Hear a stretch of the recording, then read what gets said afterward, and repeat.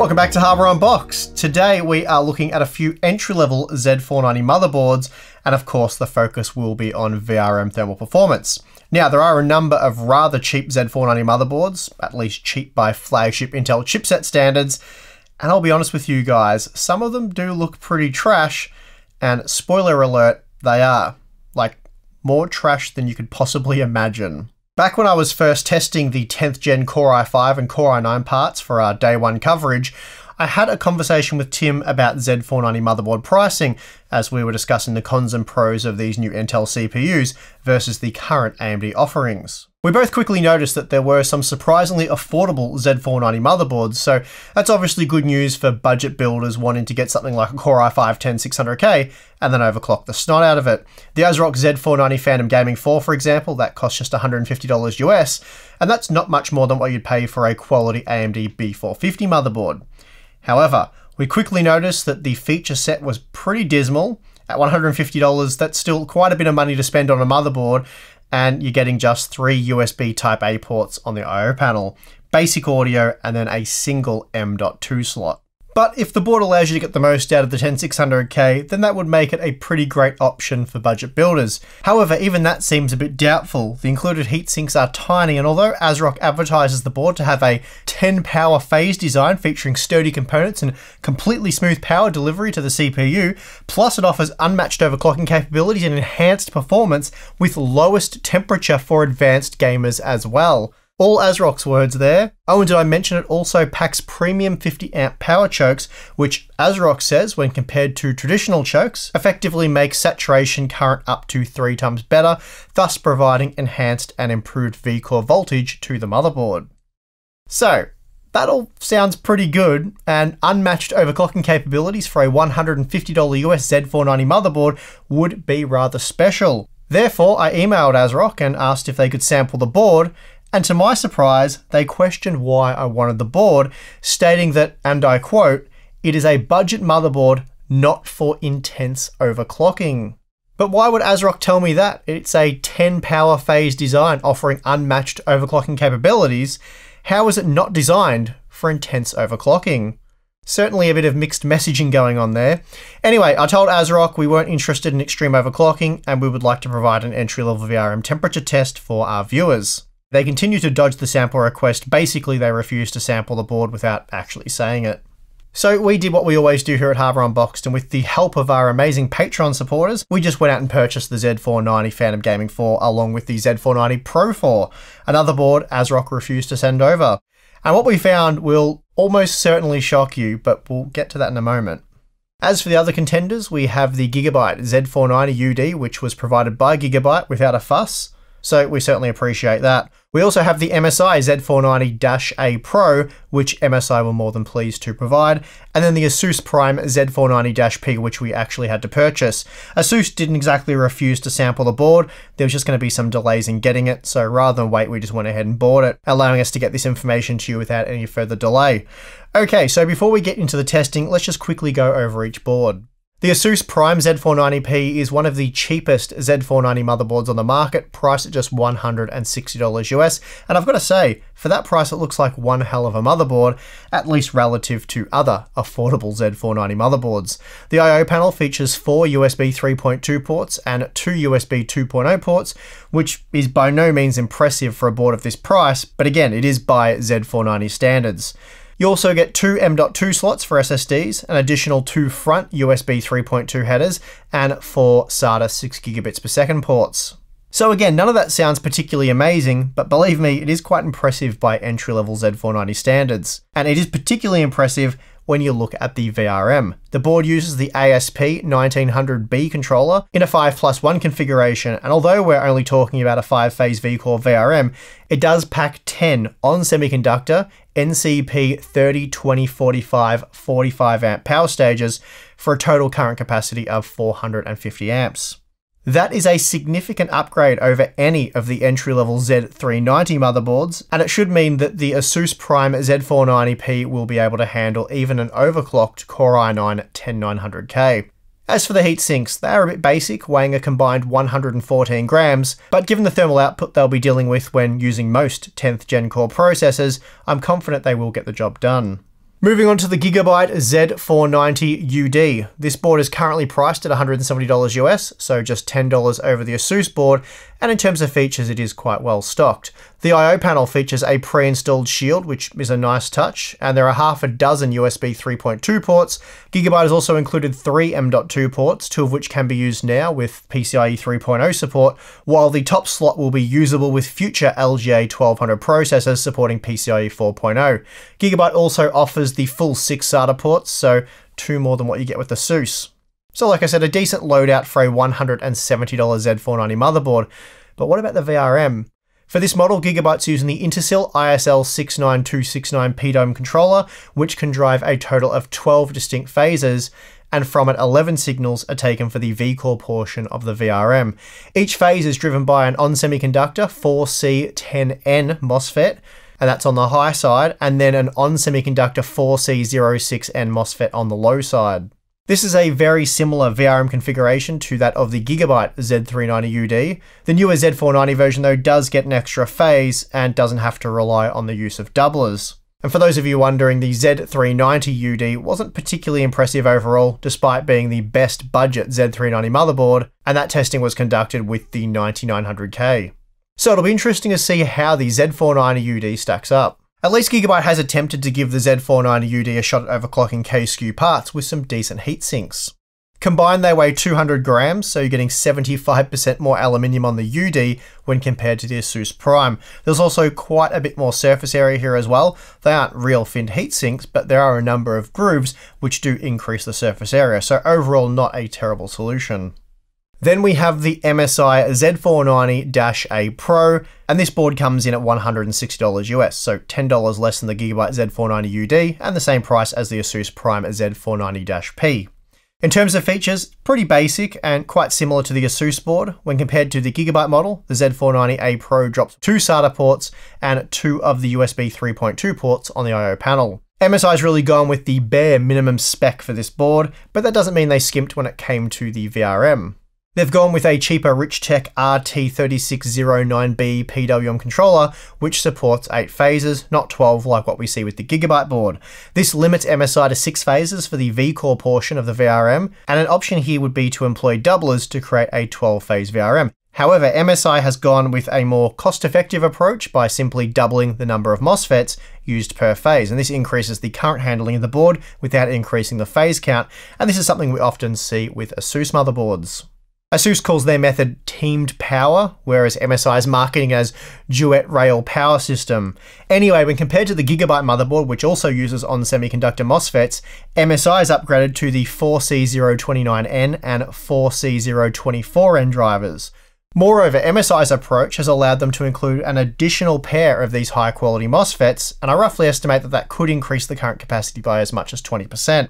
That's obviously very significant, so it'll be interesting to see how these boards compare. MSI has also included 237 grams worth of aluminium heat sinks, which feature a number of grooves designed to increase the surface area, so the cooling capacity should be at least as good as what you'll get with the Gigabyte and Asus boards. Now, the cheapest Z490 motherboard on the market today is the ASRock Z490 Phantom Gaming 4 at just $150 US.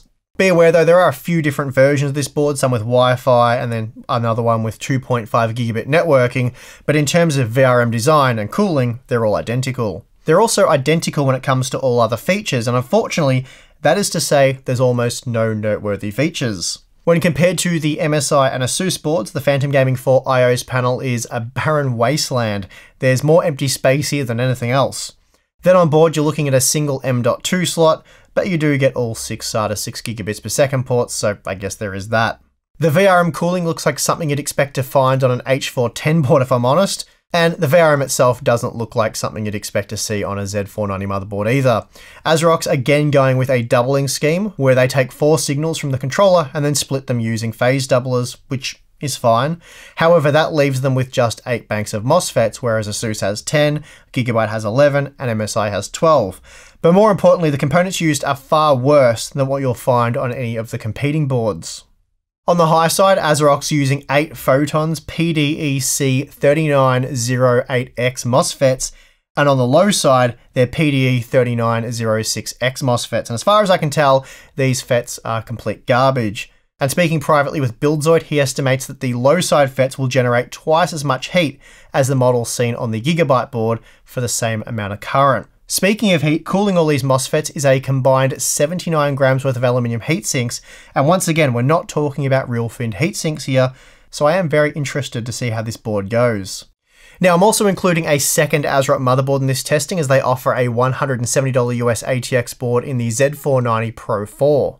And that being the case, it did seem unfair to just include the $150 Z490 Phantom Gaming 4. So, what's ASRock offering for the extra $20? Well, the I.O. panel is virtually the same. We're just getting a VGA port, which is going to be useless for most of you because A, you won't be using the iGPU, and B, if you do, you'll likely use the HDMI port. The key improvements here have been made to the VRM in both the components used and the cooling. Starting with the cooling, as you can clearly see, the heat sinks are much bigger, and here we're getting a combined 270 grams worth of aluminium, roughly three and a half times more than the Z490 Phantom Gaming 4. There's also a few fins cut into the blocks, but they are mostly just that, a block of aluminium. As for the VRM, we're getting a copy and paste job from the Z390 Pro 4, so it's an 8-phase V-Core VRM using Sino Power MOSFETs. The Z390 Pro 4, like most entry-level Z390 motherboards, wasn't very good, but at least that particular board cost just $120 US, and that means we're now getting pretty much the same board for $170. For those who missed the Z390 VRM testing, the Pro 4 reached 81 degrees using a stock Core i9 9900K inside a case with decent airflow and an ambient temperature of just 21 degrees. And then we saw when overclocking the 9900K to 5 GHz with just 1.3 volts, the board actually failed. So I don't have particularly high hopes for this Z490 version. Before we get into the graphs, let's talk a bit about the test conditions. For this testing and any future LGA 1200 VRM thermal testing, I've built a dedicated system with the help of Corsair, who sent over their Obsidian Series 500D mid-tower case, RM850X power supply, iCUE H150i RGB Pro XT all-in-one liquid cooler, and 32GB of their Vengeance RGB Pro DDR4 3200 memory. The Obsidian 500D has been configured with a single rear 120mm exhaust fan and two top-mounted 140mm exhaust fans. Then in the front of the case is the H150i 360mm radiator with three 120mm intake fans. This is a pretty standard configuration, airflow is going to be good, and in a 21 degree room I'd say this is an optimal setup. Then for recording temperatures, I'm using a digital thermometer with K-type thermocouples, and I'll be reporting the peak rear PCB temperature. Finally, I'm not reporting delta T over ambient. Instead, I maintain a room temperature of 21 degrees, as this, in my opinion, is by far the most accurate way to conduct this testing. And monitoring ambient room temperatures is a thermocouple positioned next to the test system. Okay, so what we have here is the out-of-the-box performance. The only setting change in the BIOS is the XMP setting. Here I've simply loaded the DDR4 3200 profile, and this doesn't alter the CPU power limits of any of the boards. Now, to be clear, this isn't an apples to apples comparison.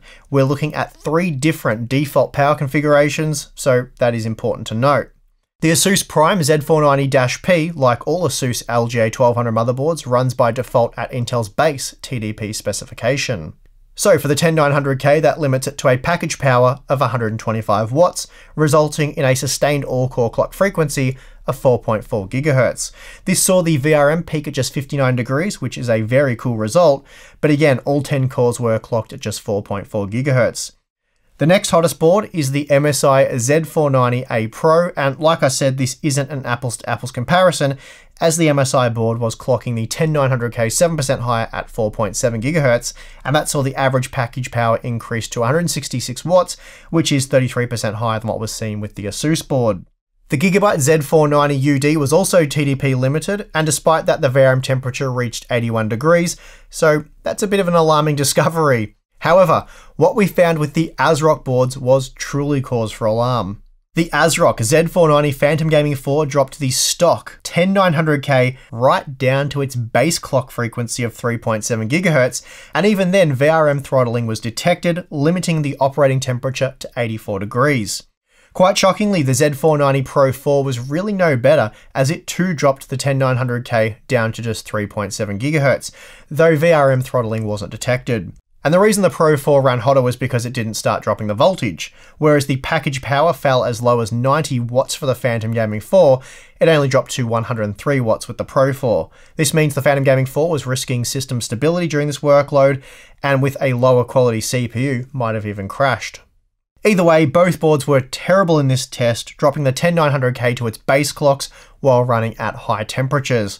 Basically, the MSI Z490A Pro was clocking all 10 cores 1 GHz higher, while also managing to run 24 degrees cooler. For a more apples to apples comparison, I removed all the power limits for the 10900K and retested. Given what we found previously, it'll come as no surprise to learn that the ASRock boards failed this test, crashing in Windows and forcing a system reset.